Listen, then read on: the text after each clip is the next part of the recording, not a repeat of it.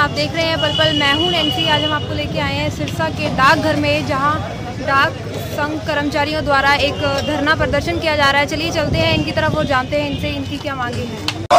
मोदी सरकार मुर्दाबाद। मुर्दाबाद मुर्दाबाद। दूर संचार मंत्री मुर्दाबाद। मुर्दाबाद मुर्दाबाद। जिंदाबाद जिंदाबाद। मोदी सरकार मुर्दाबाद मुर्दाबाद मुर्दाबाद दूर संचार मंत्री मुर्दाबाद मुर्दाबाद मुर्दाबाद वित्त मंत्री मुर्दाबाद मुर्दाबाद मुर्दाबाद हम आपसे जानना चाहेंगे जो ये धरना प्रदर्शन किया जा रहा है सरकार से आपकी क्या मांगे हैं जो पूरी नहीं हो रही है उसको लेके आप धरना प्रदर्शन कर रहे हैं? ग्रामीण डाक सेवक है डाक विभाग में मतलब तीन लाख ग्रामीण डाक कर्मचारी हम। जो सातवां वेतन योग था शहरी शहरी मुलाजमों को दे दिया और हमारे को छोड़ दिया। उसके बाद सरकार ने एक कमेटी बिठाई कमलेश चंद्रा। वो कमेटी को डेढ़ साल हो गए रिपोर्ट दिए को।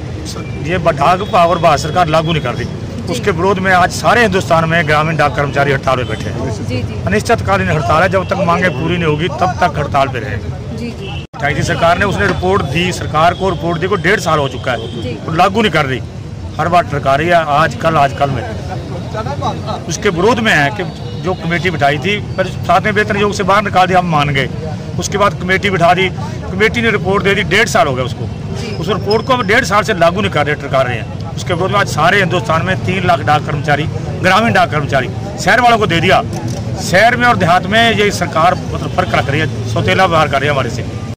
हम लोग इन लोगों से बात की इन लोगों ने अपनी समस्याएँ अपनी मांगों को लेकर अनिश्चितकाल हड़ताल की है। पूरा जो है पूरा आज प्रदेश है जो हड़तालों पे बैठा है। सफ़ाई कर्मचारी भी अनिश्चितकाल की हड़ताल पे बैठे हैं। डाक कर्मचारी जो ग्रामीण कर्मचारी है वो भी हड़ताल पर बैठे हैं। और सरकार के खिलाफ लगातार नारे लगाए जा रहे हैं। इसी के साथ मैं हूँ नैन्सी